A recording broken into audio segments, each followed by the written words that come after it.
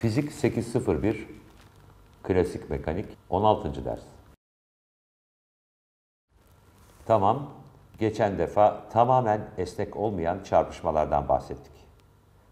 Bugün çarpışmaları daha genel hatlarıyla konuşacağız. Bir boyutlu durumu göz önüne alalım. Burada M1 ve burada M2 kütlesine sahibiz. Ve hayatı biraz daha kolaylaştırmak için V2'yi 0 yapacağız. Ve cisim V1 hızına sahip olacak. Çarpışmadan sonra M2 kütlesi V2 üssü hızına sahip. M1 de V1 üssü hızına sahip olsun. Bunun hareketinin bu yönde mi yoksa şu yönde mi olduğunu bilmiyorum. Her ikisinde mümkün olduğunu göreceksiniz. V1 üssü ve V2 üssünü bulabilmek için iki denkleme ihtiyacınız olduğu açıktır. Ve şayet çarpışma esnasında tüm sisteme etki eden net bir dış kuvvet yoksa bu durumda momentum korunur. Böylece M1 çarpı V1'in M1 çarpı V1 üssü artı M2 çarpı V2 üssü olduğunu yazabilirsiniz. Bunların vektör olduğunu belirtmek için vektör işaretlerini koymak isteyebilirsiniz. Fakat bu bir boyutlu durum olduğu için vektör işaretlerini yazmayabilirsiniz ve böylece işaretler otomatik olarak yönleri içerecektir. Eğer bunu artı olarak seçerseniz ve sonuçta eksi işareti elde ederseniz hızın ters yönde olduğunu bilirsiniz. Şimdi ikinci bir eşitliğe ihtiyacımız var. Fizikte enerjinin korunumuna kuvvetli bir şekilde inanırız. Kinetik enerji korunmasa da olur. Fakat önce de gördüğünüz gibi kinetik enerjiyi yok edebilirsiniz. Fakat bir şekilde eğer enerjiyi yok edersek onu başka bir formda ortaya çıkması gerektiğine inanırız ve enerjiyi yoktan var edemezsiniz. Daha önce de gördüğümüz gibi tamamen esnek olmayan çarpışma durumunda kinetik enerjiyi ısıya dönüşmesi şeklinde kaybetmiştik. Dahili sürtünme söz konusuydu. Araba hızla bir diğerine çarptı, enkazlar birbirinin içine girdiği zaman dahili bir sürtünme söz konusuydu. Harici sürtünme yoktu ve bu kinetik enerjiyi yok etti.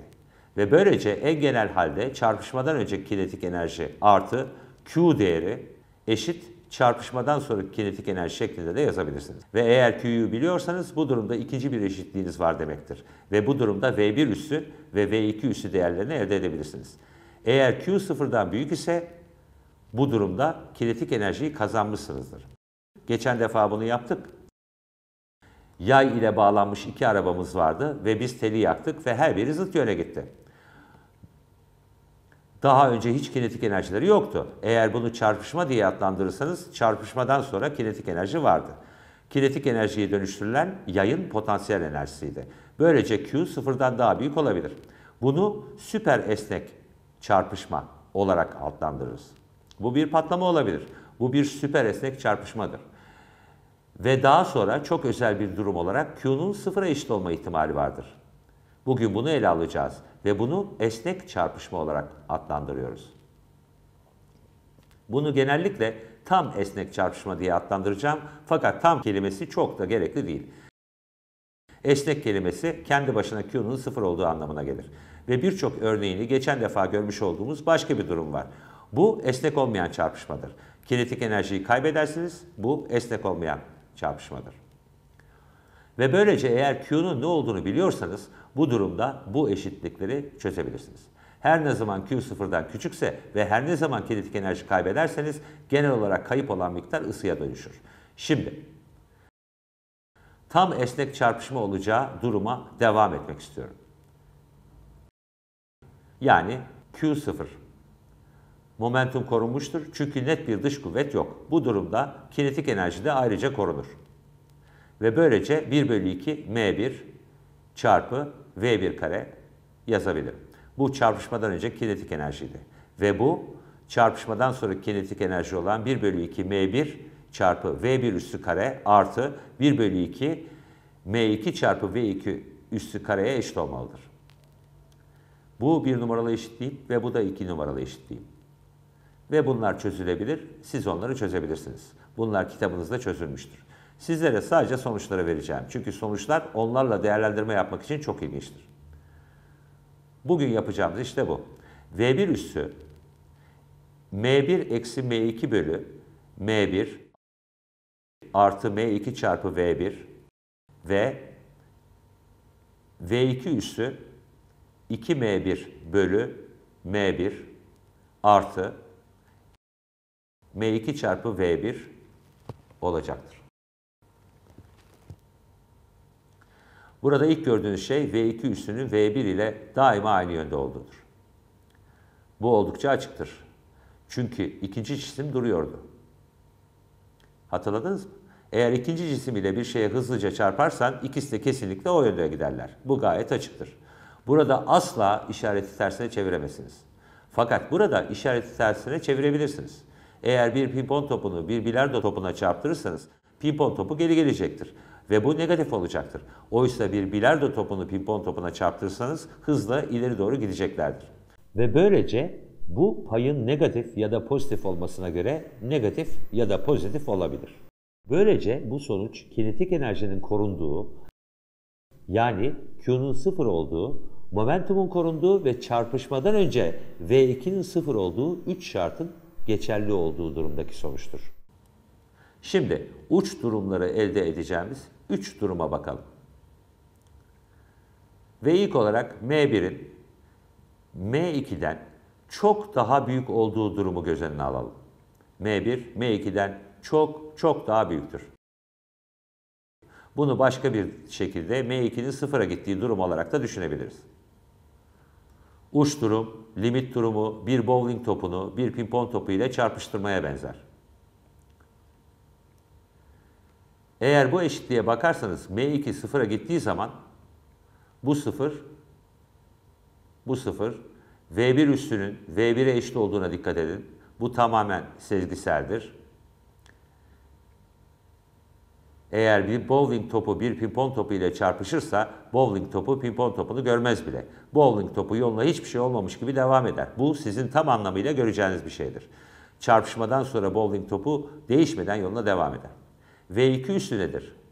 Bunu sezmek kolay değildir. Eğer orada M2 eşit 0 yazarsanız bu durumda artı 2V1 elde edersiniz. Tamamen açık değil. Artı 2V1. Sizin görmenizi istediğim bir şey değil. Ben de onu göremem. Bir gösteri yapacağım. O zaman bunun gerçek olduğunu görebilirsiniz. Şimdi bir bowling topunu alır ve onu bir pimpon topu ile çarpıştırırsanız pimpon topu 2V1'lik bir hız kazanır. Ne daha çok ne daha az. Ve bowling topu aynı sürat ile devam eder. Şimdi M1'in M2'den çok daha küçük olduğu bir durumu ele alalım. Başka bir deyişle limit durumunda M1 sıfıra gidiyor. Ve burada onu yerine koyuyoruz. M1 sıfıra gider. Böylece bu sıfır ve bu durumda V1 üssünün eksi V1'e eşit olduğunu görürsünüz. V1 üssü eksi V1'e eşittir. O oldukça açık. Pimpon topu bowling topundan sıçrar ve yalnızca geri zıplar. Ve bu görebileceğiniz bir şeydir. Ve bowling topu hiçbir şey yapmaz. Çünkü M1 sıfıra gidiyor, böylece V2 üssü sıfıra gider. Bu oldukça sezgiseldir. Ve şimdi M2'nin M1'e eşit olduğu oldukça sevimli bir durumumuz var. Ve onu burada yerine koyarsanız M1 M2'ye eşit olduğu zaman V1 üssü sıfıra eşit olur. Böylece ilk cisim durur, V2 üssü V1 olur. Eğer M1 M2'ye eşit ise buradaki payda bu 2 olur ve buradaki payda da 2 var ve V2 üssünün V1'e eşit olduğunu görürsünüz. Ve bu dikkate değer bir durumdur. Hepiniz bunu görmüşsünüzdür. Hepiniz denge topları ile oynamışsınızdır. İki adet bilardo topuna sahipsiniz. Birisi duruyor ve diğeri ona çarpar. Birincisi durur ve ikinci diğerinin hızıyla harekete geçer. İnanılmaz bir şeydir. Hepimiz bunu görmüşüzdür. Hepinizin bunu gördüğünü tahmin ediyorum. Çoğu insan bu olayı topları birbirine çarptırdıkları sarkaçlar ile yapar. Bunu oldukça kolay bir şekilde görebileceğiniz bir örnek ile burada yapacağım. Burada bilardo toplarım var ve eğer bunu buna çarptırırsam üçüncü durumu elde ederiz.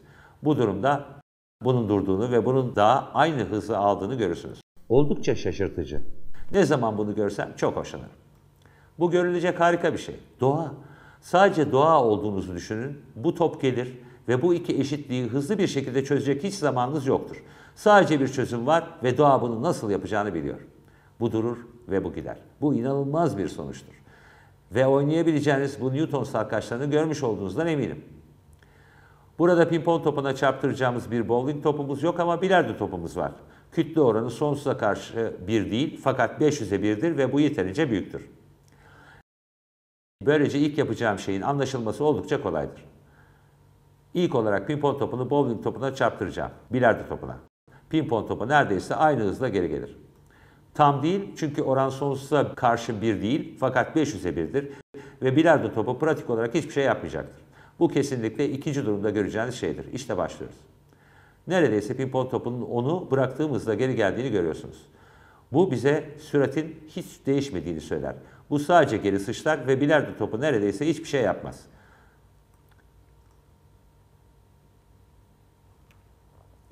Şimdi birinci durum geliyor. Bu sezgisel olmayan durumdur. Bu sezgiseldir. Eğer bilardo topu pimpon topuna çarpar ve hareketine devam ederse bu sezgisel durum olur. Göreceğiniz gibi V1 üssü V1 ile aynı sürattedir. Pimpon topunun bilardo topunun iki katı sürate ulaşması sezgisel değildir ve kesinlikle bunu nicel olarak göremezsiniz. Çünkü biz pimpon topunun hızını nicel olarak ölçmüyoruz. Fakat onun oldukça hızlı bir şekilde zıpladığını göreceksiniz. İşte başlıyoruz. Bilardo topu pimpon topunun üstüne geliyor.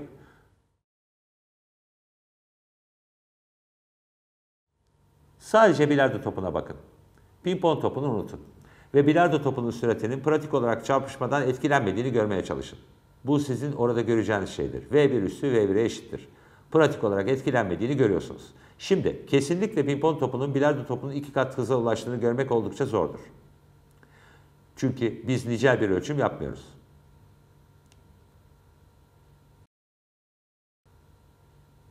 Pekala. Böylece bu durumda bunlar orada tahtada gördüğünüz bu üç olasılığın örnekleriydi. Şimdi daha çok tam esnek çarpışma yapmak istiyorum ve bunu hava yapacağım. Tam esnek çarpışmayı denemek istiyorum.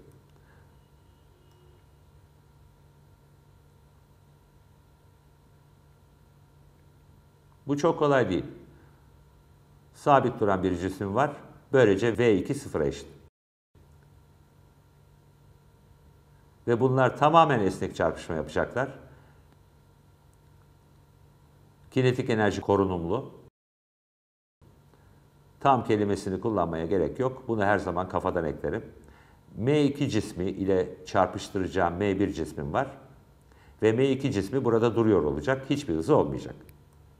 Ve M1 cismi bu taraftan gelecek ve çarpışmayı esnek yapmaya çalışacağım. Ve bunu her kütleye bağlanmış olan yayları kullanarak yapacağım. Ve yaylar korunumlu kuvvetlerdir ve böylece çarpışma esnasında yaylarda üretilen bir ısı neredeyse yoktur. Ve böylece bu makul bir yaklaşımdır. Esnek bir çarpışma elde edeceksiniz fakat kesinlikle her zaman hava direnci vardır. Asla hava direncini ihmal edemem. Böylece sistem üzerinde daima bir dış kuvvet vardır. Momentum asla tamamen korunmaz ve kinetik enerji de asla tamamen korunmaz. Bu sadece bir yaklaştırmadır. Burada birinci kütlem var. Ve değerinin ne olacağını size vereceğim. Ve onu ikinci kütlem ile çarpıştırıyorum. Ve kütlelerimden birincisi 241 artı eksi 1 gram. Ve diğeri 482 artı eksi 1 gram. Ve bundan iki tane var. Ve ilk deneyimde şu ikisini kullanacağım. Böylece gördüğünüz gibi oran birebirdir. Değerinin ne olduğunu benim de bilmediğim belli bir hız vereceğim. Bu kendimi ne kadar mutlu hissettiğime bağlı. Eğer hızlı itersem bu durumda hız yüksek olacaktır. Eğer yavaş itersem hız düşük olacaktır. Fakat belli bir değerdedir. Ve sonra V1 üstünü buraya yazacağız. Ve bu hızın sıfır olacağını tahmin ediyoruz. Tahtadakilerden bunu görebilirsiniz. Eğer kütleler aynı ise esnek çarpışma olacağını, bunun duracağını ve V2 üssünün V1 hızıyla devam edeceğini göreceksiniz. Bu bir tahmin. İkinci durumda birinci kütleyi iki kat kütleli bir diğer cisim ile değerinin ne olduğunu bilmediğim belli bir hız ile çarpıştıracağım. Ve şimdi ne elde edeceğiz? M1'in kütlesi M2'nin kütlesinin yarısı. Yani bu 1 ve bu 2 ve burası 3. 1 eksi 2 eksi 1 eder. Eksi 1 bölü 3 dolayısıyla burası eksi 1 bölü 3'tür. Yani birinci cisim geri gelecektir. Bu sürpriz değil. Eğer daha hafif bir cismi daha kütleli bir cisme çarptırırsanız onun geri dönmesi sürpriz değildir. Böylece bu eksi 1 bölü 3'tür. Ve buraya baktığımız zaman 2 çarpı 1 bölü 1 artı 2 3 eder. Burası artı 2 bölü 3 şeklinde olur. Böylece bir numaralı cisim 1 bölü 3'lük bir sürat ile geri gelecektir. Kesinlikle bu işarete duyarlıdır. Bu 1 bölü 3 V1 ve bu da artı 2 bölü 3 V1 olacaktır. Bu tahmindir. Ve bu hızları cisimlerin 10 santimetrelik mesafe boyunca aldıkları yol için geçen zamanı ölçerek bulacağız. Arabaların ne kadar uzun olması önemli değil. Burada 10 santimetre uzunluğunda bir metal parçası var. Bu cisim diyot bulunan aralıktan geçer. Burada ve burada birer sistemimiz var ve bu 10 santimetrelik hareket boyunca geçen zamanı ölçeriz. Bu metal parçası diyot sistemine girdiği anda zaman başlar ve diyot sistemini terk ettiği anda da durur. Ve arabalardan her biri 10 santimetrelik metal parçaya sahip. Yani yapacağımız şey kesinlikle zamanı ölçmektir. Bu hız bana belli bir zaman değeri verecektir ve bu hız da bana belli bir zaman verecektir. Sonucun ne olduğunu bu zaman ölçeri aletlerde göreceksiniz. Bu durum için cisim durduğundan dolayı T1 üssü 0 olmalıdır.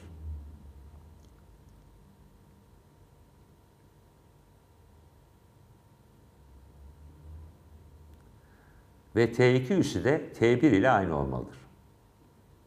Böylece bu iki rakamı doğrudan kıyaslayabilirsiniz. Ne kadar bir belirsizliğe sahibiz? Bunu söylemek zordur. Geçen derslerde hemfikir olduğumuz gibi her seferinde en azından %2,5 belirsizliği hesaba katmanızı söyleyebilirim. Eğer daha iyi çıkarsa bu durumda şanslısınızdır. Eğer daha kötü çıkarsa o gün kötü bir gün olur. %2,5 ve geçen dersimizde bunun neden %2,5 olduğunu söylemiştim. Şimdi deneyi yapıyoruz. Belli bir T1 değeri elde edeceğiz. Ve böylece bu cisim 1 bölü 3 hızıyla geri gidecektir. Böylece 10 santimetreyi gitmesi 3 kat fazla zaman alacaktır. Böylece bu zamanı 1 bölü 3 ile çarpacağım ve çıkan sonuç bununla aynı olmalıdır. Bu T2 üstünü biraz kaydırayım.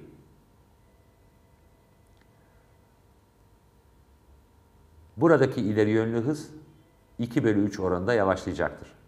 Eğer bunu 2 bölü 3 ile çarparsam bu durumda T1 ile karşılaştırabilirim. Ve bunların hepsi bütün bu zamanlar eğer biraz şanslı değilsek sanırım yaklaşık %2,5'tan daha iyi olmayacaktır.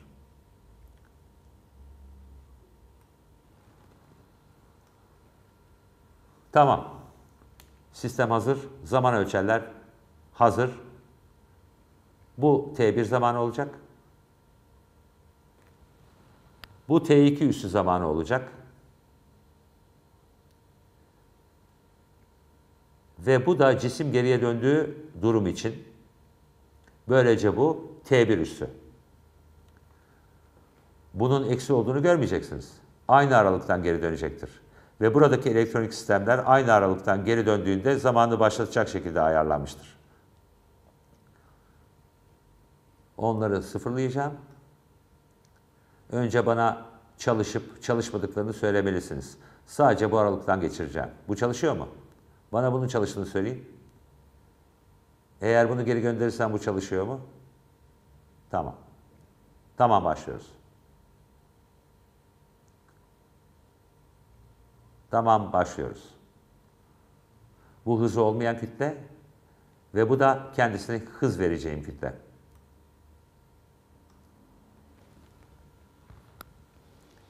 Hazır mıyız?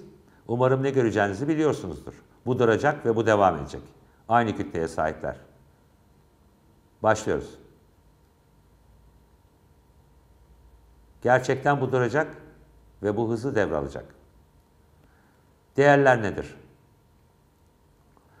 194 ve 196. Sadece 2 milisaniye fark var. Bu inanılmaz bir sonuç.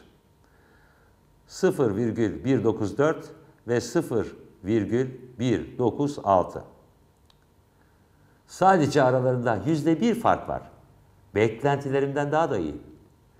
Çünkü beklentim her birisinin yüzde iki buçuk daha kötü olacağı şeklindeydi. Şimdi kütlelerden birinin iki katı olduğu durum için yapalım.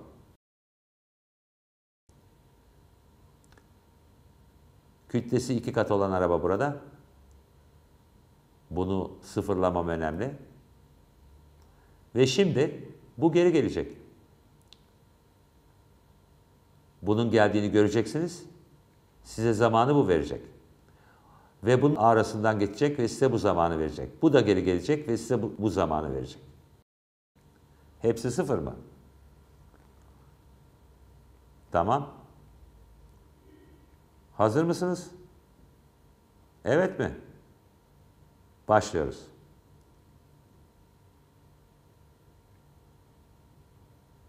Tamam. Şimdi, şimdi kesin karar verme testi geliyor. 123, 186. 123,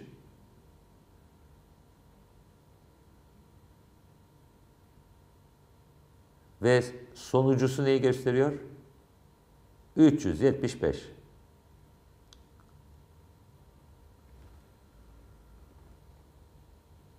Tamam, biraz tembellik yapayım ve hesap makinemi kullanayım. 375 bölü 3. Bunu kesinlikle kafamdan da yapabilirdim. 0,125. Müthiş bir oyun. Harika. Sadece yüzde iki. Yüzde ikiden de az. Şimdi 0,186 çarpı 2 bölü 3 0,124. İnanamıyorum. Yüzde birden daha az. Böylece gördüğünüz gibi hava sürtünmesinden kinetik enerjide biraz kaybolma gibi istenmeyen problemlere rağmen neredeyse elastik çarpışmaya son derecede yakın bir durum elde ettik.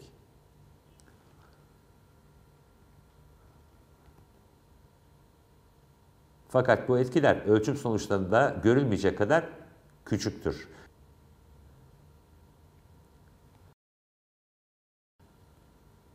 Şimdi sizin uykusuz bir gece geçirmenizi istiyorum. Şunu düşünmenizi istiyorum. Ve bunu gece bitmeden önce çözemezsiniz. Bu durumda yarı uyanık olmanız gerektiğini düşünüyorum. Burası duvar. Bu belli bir M kütlesiyle gelen tenis topu ve bu top belli bir değere sahip olan V hızına sahip. Bu yaklaşık esnek bir çarpışma ve top duvardan geri gelecek. Ve hepimiz eğer bu yaklaşık esnek çarpışma ise topun aynı hızla geri döneceğini biliyoruz. Klasik enerji korunur. Bütün klasik enerji tenis topundadır. Duvarda kinetik enerji yok. Duvar sonsuz büyüklükte bir kütleye sahip fakat tenis topunun momentumu 2 mv şeklinde değişmektedir. Şu momentum duvarda olmalıdır. Bu tartışılmaz çünkü momentum korunmalıdır. Burada duvarın bir momentuma sahip olacağı fakat kinetik enerjiye sahip olamayacağı durumu görmektesiniz. Duvarın 2 mv şeklinde momentuma sahip olduğunu anlayabilir misiniz? Bunu bağdaştırabiliyor musunuz? bunun matematiksel olarak kabul edilebilir olduğunu bana gösterebilir misiniz? Bunun tartışması bile olamaz. Momentuma sahip olabilir. Fakat kinetik enerjisi yok. Bu nasıl mümkün olabilir? Bunu düşünün ve eğer çözemezseniz beni sabah 3'te arayın ve size cevabı söyleyeceğim. Tamam. Buna kütle merkezi referans çerçevesinden bakalım. Kütle merkezi oldukça özel ve fizikçiler anlayacağınız sebeplerden dolayı kütle merkeziyle çalışmayı severler. Sistem üzerine etkileyen net dış bir kuvvet olmaması durumunda geçen defa tartıştığımız gibi kütle merkezi her zaman aynı hıza sahip olacaktır. Biz orada yaya bağlı titreşim yapan iki cismin bir gösterisini yapmıştık. Fakat kütle merkezi sabit hızla hareket ediyordu. Güzel olan şudur ki eğer kütle merkezi çerçevesinden bakarsanız bu kütle merkeziyle aynı hızla hareket ettiğiniz manasına gelir. Sizin referans çerçevesinden bakıldığında kütle merkezi sabit durmaktadır. Ve eğer kütle merkezi sabit kalırsa sizin referans çerçevenizden görülen, kütle merkezi referans çerçevesinden bakıldığında görülen parçacıkların momentumu sıfırdır. Çarpışmadan önce ve çarpışmadan sonra sıfırdır. Ve bu kütle merkezinin şimdi sizinle tartışacağımız şaşırtıcı özelliğini verir. İlk olarak M1 ve M2 parçacıklarım var. Ve bunun kütle merkezi çerçevesinden bakıldığında hızı U1 olsun ve bu da U2 hızına sahip olsun. Ve V'ler ile karıştırmayasınız diye özellikle U şeklinde verdim. V'ler her zaman sizin referans çerçevesinden bakıldığındaki ve U'lar ise kütle merkezi referans çerçevesinden bakıldığındaki hızlardır. Ve tam esnek çarpışmaya sahip olduğumuz bir durumu ele alıyorum. Bunun anlamı Q sıfırdır. Biraz önce tartıştığımız türden. Çarpışmadan önceki ve sonraki zamanda momentum sadece korunmaz, aynı zamanda momentum sıfırdır. Çarpışmadan sonra M2'nin U2 üstü hızıyla geri döndüğünü ve M1'in de U1 üstü hızına sahip olduğunu varsayalım. Bu çarpışmadan sonraki durumdur. Şimdi momentumun sıfır olduğunu biliyorum. Böylece sadece çarpışmadan sonraki durum için M1 çarpı U1 üssü artı M2 çarpı U2 üssünün sıfır olması gerektiğini yazabilirim. Onları vektör olarak yazmıyorum. Bu gerekli değil çünkü bu bir boyutlu çarpışma ve işaretler otomatik olarak yönleri belirleyecek. Size tam esnek çarpışma durumunu seçtiğimi söylemiştim. Q0 ve kinetik enerji korunmalı. Böylece çarpışmadan önce 1 bölü 2 M1 çarpı U1'in karesi artı 1 bölü 2 M2 çarpı U2'nin karesi ve çarpışmadan sonra 1 bölü 2 M1 çarpı U1 üssü kare artı 1 bölü 2 M2 çarpı U2 üssü kare şeklinde eşitliğim var. Önce kinetik enerji, sonraki kinetik enerji. Bir numaralı eşitlik, iki numaralı eşitlik. Doğa bizden daha hızlı çözebilir ve sonuç şaşırtıcıdır. Kütle merkezindeki sonuç U1 üssü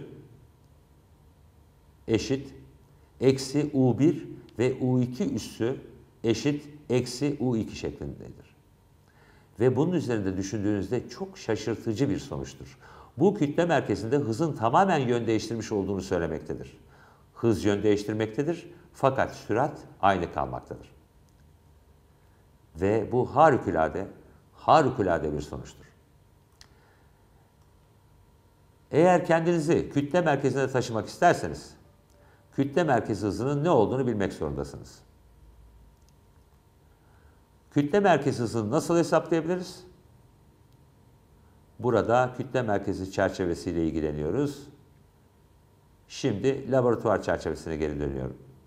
Geçen dersimizde tanımladığımız gibi büyük M çarpı kütle merkezinin konum vektörü eşit M1 çarpı birinci parçacığın konum vektörü artı M2 çarpı ikinci parçacığın konum vektörü olduğunu biliyoruz. Eğer bu denklemin türevini alırsanız bu durumda konumlar hıza dönüşür. Böylece kütle merkezinin hızının 1 bölü M1 artı M2 çünkü bu büyük M toplam kütledir ve bunu paydaya yazıyorum. Üst tarafta ise M1V1 artı M2V2 elde ederim. Vektör işaretlerini koymadığıma dikkat edin. Çünkü bu bir boyutlu problemdir ve işaretler yönleri belirleyecektir. Bu kütle merkezinin hızıdır. Bunu tahtaya da yazdım. Çünkü bu dersin sonlarına doğru buna ihtiyaç duyacağım. O zamana kadar silmiş de olabilirim ama buraya yazmış olmamın sebebi bu. Şimdi U1'in ne olduğunu öğrenmek isterseniz, kütle merkezi çerçevesindeki hızın ne olduğunu bilmek isterseniz, bu şüphesiz V1 eksi kütle merkezinin hızı ve U2 eşit V2 eksi kütle merkezinin hızı şeklindedir. Eğer isterseniz bu kütle merkezi çerçevesi içine transfer edebileceğiniz bir yoldur. Ve daha önce size bahsettiğim sebeplerden dolayı kütle merkezi çerçevesinde momentum sıfır olduğundan bu bazen işe yarar. Çarpışmanın esnek çarpışma ya da esnek olmayan çarpışma ya da süper esnek çarpışma olup olmamasından bağımsız olarak çarpışmadan önce ve sonra her zaman sıfırdır. Ve daha sonra laboratuvar çerçevesine transfer etmek isterseniz bu durumda kesinlikle kütle merkezinin hızını yeniden U1 üstüne eklemek zorundasınız. Ve kütle merkezinin hızını yeniden U2 üstüne eklemek zorundasınız. Sizin referans çerçevenizden görünen kütle merkezinin hızı değişmemiştir. Çünkü kütle merkezinin hızı her zaman aynıdır. Hatırlayın çünkü momentum korunumludur. Böylece kütle merkezi çerçevesine girmek için başlangıç hızından kütle merkezinin hızını çıkarmanız gerekir. Bundan kurtulmak için bunları eklemelisiniz. Şimdi kinetik enerji ve momentum sizin referans çerçevenize bağımlıdır. Genelde sizin oturduğunuz yerden görünen toplam momentum sıfır değildir. Bu sadece çok özel bir durumda geçerlidir. Kütle merkezi durumunda toplam momentum her zaman sıfırdır. Genel olarak laboratuvar çerçevesinden görülen kinetik enerji kesinlikle kütle merkezi çerçevesinden görülen kinetik enerjiyle aynı değildir. Ve şimdi kütle merkezinin diğer bir benzersiz özelliğini söylüyorum. Eğer tam esnek olmayan bir çarpışma varsa, bu durumda kütle merkezi çerçevesinin tüm enerjisi kaybedilir. Bu kesindir.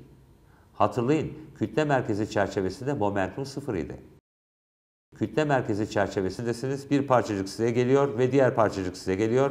Hareket etmiyorsunuz ve kütle merkezindesiniz. Tam esnek olmayan çarpışma olduğundan dolayı birbirine tamamen yapışırlar. Eğer çarpışmadan sonra birbirine yapışırlarsa hareket etmeden duracaklardır. Bu daha önceden mevcut olan kinetik enerjinin tamamen yok olduğu anlamına gelmektedir ve bu kinetik enerji kütle merkezi çerçevesinden gözlenmiştir. Ve bunu iç kinetik enerji olarak adlandırırız ve bir çarpışmada ısıya dönüştürülen maksimum enerjidir. Bunu size kısmen göstereceğim. Bu işin bir kısmını ben yapacağım ve bir kısmını size bırakacağım. İlk olarak sizin oturuyor olduğunuz referans çerçevenizden tam esnek olmayan bir çarpışma durumunda ne kadar enerji harcandığını hesaplayacağım. Bunu daha sonra kütle merkezi çerçevesine transfer edeceğim ve sonra bunun gerçekten şaşırtıcı bir özellik olduğunu size göstereceğim. Şimdi yeniden ders salonuna geri dönüyoruz ve tam esnek olmayan bir çarpışma yapacağız. Bu onların birbirine yapışacakları anlamına gelir. Hatırlayın. Ve M2'nin olayı biraz daha basitleştirmek için hızının olmadığını yani V2'nin sıfır olduğunu ve M1'in V1 hızına sahip olduğunu varsayalım. Bunu çok defa görürsünüz. Birbirine yapışır ve tek vücut olurlar ve bu durumda V üssü olarak seçtiğimiz bir hıza ve M1 artı M2 kütlesine sahip olurlar. Bu çarpışmadan sonraki durumdur. Eğer sistem üzerinden net dış kuvvet olmazsa momentum korunur. Bu durumda M1 çarpı V1 eşit M1 artı M2 çarpı V üstü yazabilirim. Böylece V üstü eşit M1 çarpı V1 bölü M1 artı M2 olur. Bu çok basit bir hesaplamadır. Bu aynı zamanda çok açık olmamasına rağmen kütle merkezin hızıdır. Ve bunu nasıl çabucak görebilirim? Pekala. Kütle merkezinin hızı nedir? Bunu burada görmektesiniz. Bu genel eşitliktir. V2 eşit sıfır durumu için geçerli olan eşitlik değildir. Bu daha geneldir. Eğer burada V2'yi sıfır yaparsanız burada görmüş olduğunuz sonucun aynısını görebilirsiniz. Ve bu kütle merkezinin hızı olmalıdır. Şimdi çarpışmadan önceki ve sonraki kinetik enerji arasındaki farkın ne olduğunu hesaplayabiliriz. Bu kesinlikle çok basittir. Çarpışmadan önce kinetik enerjinin ne olduğunu biliyorsunuz. Bu 1 bölü 2 m1 çarpı v1 kare. Çarpışmadan sonra kinetik enerjinin ne olduğunu biliyorsunuz. V üstüne hesapladım ve böylece kütlenin yarısını alıp bu hızın karesiyle çarpacaksınız. Siz bunu yapabilirsiniz, yapabileceğinizden eminim. Biraz matematik işlem yapacaksınız ve bu eşitliğin eksi 1 bölü 2 m1 çarpı m2 bölü m1 artı m2 çarpı v1'in karesi şeklinde olduğunu göreceksiniz. Sonuçta elde edeceğiniz değer budur. Burada neden eksi işareti olduğunu tahmin edebilirsiniz. Tam esnek olmayan bir çarpışma durumunda kinetik enerji kaybetmekteyiz. Bunu geçen derslerde çok defa yaptık. Kinetik enerjiyi kaybettik. Bunu her durum için gördük. Bu eksi işaretinin ne manaya geldiğini göstergesidir. Bu Q'dur. Kinetik enerjiyi kaybediyorsunuz ve bu ısıya dönüşüyor. Şimdi laboratuvar çerçevesinden ev ödevinizi çok iyi yaptınız ve tamamladınız. Şimdi kütle merkezinin çerçevesinden aynı hesaplamaları yapacağım. Ve şimdi amacım kaybolan bir enerji miktarının başladığımız zaman tamamen kütle merkezi çerçevesinde olduğunu göstermektir. Bu kütle merkezinin biricik özelliğidir. Ve şimdi bunu kütle merkezi çerçevesine transfer edeceğim. Ve sonra çarpışmadan önce kütle merkezi çerçevesinde ne kadar enerji olduğunu hesaplayacağız. Çünkü çarpışmadan sonra hiçbir enerji yoktur. Sıfır. Tam esnek olmayan çarpışma durumunda kütle merkezi çerçevesinde hiçbir enerji kalmaz. Şimdi kütle merkezi çerçevesine gidiyoruz. İlk olarak U1'in ne olduğunu hesaplayacağız. U1 eşit V1 eksi kütle merkezinin hızı. Ve kütle merkezinin hızının ne olduğunu biliyoruz. Orada yazılı. İşte orada. Ve eğer bu zor olmayan çıkarma işlemini yaparsanız M2 bölü M1 artı M2 çarpı V1 olarak elde edersiniz. Umarım kontrol ettiniz. Ve şimdi U2'yi hesaplayacağız. Bu tabii ki U2 eşit V2 eksi kütle merkezinin hızı şeklindedir. Fakat bu V2 sıfırdır. Ve bu M1 bölü M1 artı M2 çarpı V1 şeklindedir. Tek fark payda M2 yerine M1'in bulunması. Şimdi kütle merkezi çerçevesinde kinetik enerjiyi hesaplayacağız.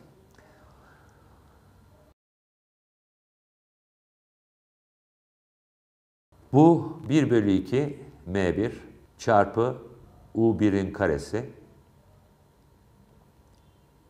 artı 1 bölü 2 M2 çarpı U2'nin karesi şeklindedir. Bu çarpışma meydana gelmeden önce sahip olduğumuz enerjidir. Bu arada bu eksi değil. Bu artı işareti ve bu eksi işareti. Bu bu yönde gelmektedir ve bu şu yönde gitmektedir. Şimdi bunu sizler için hesaplayabilirim. U1 ve U2'yi biliyorsunuz. Bunun artı veya eksi işaretli olması hiçbir fark oluşturmaz. Çünkü onlar her nasılsa yok olacaklardır. Ne elde edeceksiniz? 1 bölü 2 M1 çarpı M2 bölü M1 artı M2 çarpı V1'in karesi. Ve bu tamamen orada elde ettiğimizde aynıdır. Bazı cebirsel işlemleri atladığımın farkındayım. Buradan buraya gelmek için bazı işlemler yapmanız gereklidir. Bu çarpışmadan önceki kinetik enerjidir ve bu kinetik enerjinin tümü ısıya dönüşür. Bu dönüştürebileceğiniz maksimum kinetik enerjidir ve sistemin iç kinetik enerjisi olarak adlandırdığımız enerjidir.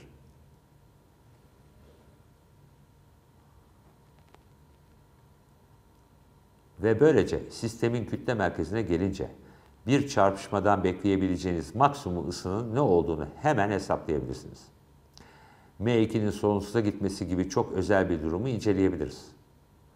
Hızla duvara çarptığım bir macun parçası gibi. Macun duvara yapışacak ve tüm enerji orada kaldığında elde edebileceğiniz maksimum ısı enerjisi nedir? Eğer M2 sonsuz büyük olursa bu durumda M1 ihmal edilebilir. M2'ler birbirini götürür ve böylece 1 bölü 2 M1 çarpı V1'in karesini elde edersiniz.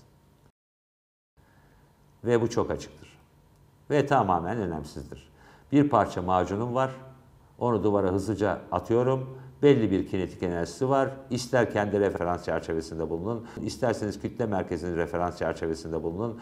Tüm kinetik enerjinin kaybolacağı aşikardır. Ve ister kütle merkezinde bulunun, ister ders sonunda bunu yapın. Bu eşitliklerden elde edebileceğiniz sonuç sadece budur. Şimdi hava rayına geri dönmek ve sizinle birkaç tam esnek olmayan çarpışma yapmak istiyorum. Yine momentumun korunduğunu varsayıyoruz. Tam anlamıyla korunmaz ama hemen hemen korunur. İki arabamız var. Şimdi tam esnek olmayan çarpışma yapacağız. Tam esnek olmayan çarpışma. Birbirine çarparlar ve sonra yapışırlar. Birinci arabaya vereceğin belli bir hız var. İkinci arabaya çarpar ve sonra yapışırlar.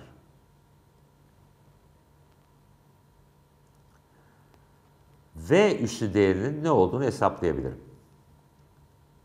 Bunu tahtada görüyorum. Eğer her iki arabada aynıysa birisi burada, diğeri burada. Eğer oran bu ise böylece sonuç olarak V üssü 1 bölü 2 V1 olmalıdır. Bu 1 bölü 2 V1 olmalı. Şimdi burada diğer kütlenin yarısı kütleye sahip olduğum bir araba var. Bunu diğerine hızlıca çarpıştırıyorum. İkisi birbirine yapışacak. Bu durumda 1 bölü 1 artı 2 yani 1 bölü 3 elde ederim. Her iki durumda da artı işareti elde ettiğime dikkat edin. Bu kesinlikle açıktır. Eğer bir şeyin üzerine başka bir şey hızlıca atılır ve onlar yapışırsa ikisi de aynı yönde giderler. Ve şimdi tamamen daha önce yaptığım gibi zamanı ölçeceğim. Fakat şimdi tam esnek olmayan durum söz konusu. T1 ve T üstü zamanlarını ölçeceğim. İki araba biraz farklı kütleye sahipler. 237 artı eksi 1 gram ve 474 artı eksi 1 gram. Bunlardan çok farklı değiller. Bu arabalardan iki tane var ve bu arabadan bir tane var. Ve ilk olarak bu ikisini birbirine çarpıştıracağım ve çarpıştıkları zaman süratin yarıya düşeceğini umuyorum. T1 için belli bir değer elde edeceğim. Böylece sürat yarıya düşeceğinden dolayı T üstü zamanı iki kat daha uzun olacak. Böylece bu değeri 1 bölü 2 ile çarptığım zaman bu değeri yeniden elde etmem gerekir. Burada bu araba için zamanı ölçeceğim. Bu ilk araba geldiğinde belli bir zaman değeri verecektir. Birlikte devam ettikleri zaman sürat 3 kat düşük olacak. Böylece bu zaman 3 kat daha uzun olacak. Bunu 1 bölü 3 ile çarparsam bu değeri yeniden elde etmem gerekir. Ve şimdi yapmak istediğim iki deney bunlar.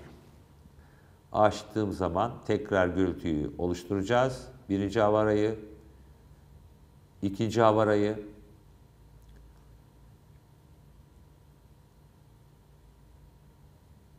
İki arabamız burada. Arabalar cırt cırt bantlara sahipler. Böylece çarpıştıkları zaman birbirine yapışacaklar. Bazen cisimler geriye doğru gelirler. Bu durumda deneyi tekrar yapmak zorundasınız. Bunu buraya koyuyorum ve bunu da buraya koyuyorum. Bu iki zaman ölçen alet açık mı? Artık buna ihtiyacımız yok. Bu ikisi açık mı? Sıfırladım. Onlar sıfır mı? Tamam hazır mısınız? Bu gelip buna çarpacak, birleşecekler ve beraber gidecekler. Ve bu durumda T üssü zamanını burada göreceksiniz. Başlıyoruz. Hazır. Tamam. Ne görüyoruz? 138 288 1 3 8 2 8 8 1 3 8 0 virgül 288 bölü 2 eşit 0,144. Yani aralarındaki fark sadece 6 ve bu sadece %4 farklı. Bu sonuç tamamen her birinin yaklaşık %2,5 olacağını tahmin ettiğim hata sınırları içerisinde bir değerdir.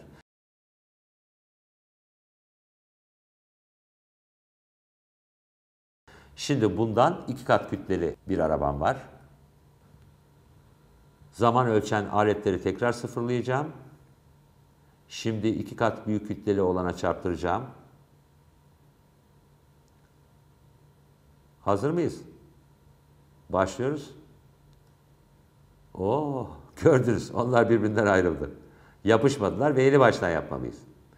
Eğer yapışmazlarsa kesinlikle bu durumda tam esnek olmayan çarpışma değildir. Başlıyoruz. Onlar hoşlanmadığım hafif bir sıçrama yaptılar. Ne değer elde ettiğimize bakalım. Bunu daima tekrarlayabiliriz. 1, 6, 8, 5, 4, 5. 1, 6, 8 çarpı 3 eşittir 504 504 545. %8'lik bir fark biraz fazla. Fakat bu olabilir. Sizlere biraz sıçradıklarını ve bunu sevmediğimi söyledim. Ve sonra yeniden yapıştılar. Bunu bir kez daha yapacağım. Belki biraz daha şanslı olurum. Yine de birleşmeden önce çok az sıçradılar. 603 187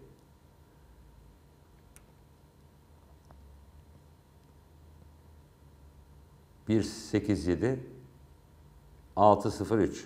Eğer bunu 3'e bölersem 0,201 değerini elde ederim. Bu yine 13 birim farklıdır. Yaklaşık %7 farklı. Bu hesaba katmış olduğum %5'ten biraz daha fazla. Şimdi bu gecenizi berbat etmek için başka bir şey üzerinde düşünmenizi istiyorum. Sadece duvara çarpan tenis topunu değil. Orada duvar momentuma sahipti fakat kinetik enerjisi yoktu. Fakat şimdi sizin bu şaşırtıcı şey hakkında düşünmenizi istiyorum. Burada 8 tane bilardo topum var ve sizin denge toplarınızda muhtemelen bir sarkaçtan asılan 8 topa sahip. Bunu ders salonunda göstermek çok daha kolay. Şimdi iki topu diğer 8 topa çarptırıyorum. Ve sizin tahmininizin ne olacağını biliyorum ve tahmininiz doğrudur. Eğer iki topu bu altısına çarptırırsam doğa momentumun korunumunu, kinetik enerjinin korunumunu hemen hemen tam esnek olmayan durum için delicesine hesaplayacaktır ve doğanın elde edeceği sonuç şöyle olacaktır. Hepsi duruyor. Bu ikisi ayrılıyor. Tekrar bakın. Onların hepsi durdu ve bu ikisi ayrıldı. Bu kolay bir hesaplama değil. Şimdi şuna bakın. Durun. Eğer 3 topu alır ve diğer 5 topa çarptırsam ne olur? Ne olacağı hakkındaki tahmininiz ne? Kaç tanesi ayrılacak gidecek? 3 sizce. Emin misiniz? Haklıydınız. Tamam. Şimdi 5 top. 5 tanesi üçüne çarpacak. Bu problem doğa için bile zor bir problemdir. Ne olacağını tahmin ediyorsunuz? Yine 5 top ayrılacak ve 3 top kalacak. Çok iyisiniz. Eğer herhangi biriniz bana bunun ne olacağını analitiksel olarak gösterebilirse bu sonuçları görmekten hoşlanırım. Tamam, gelecek derste görüşürüz.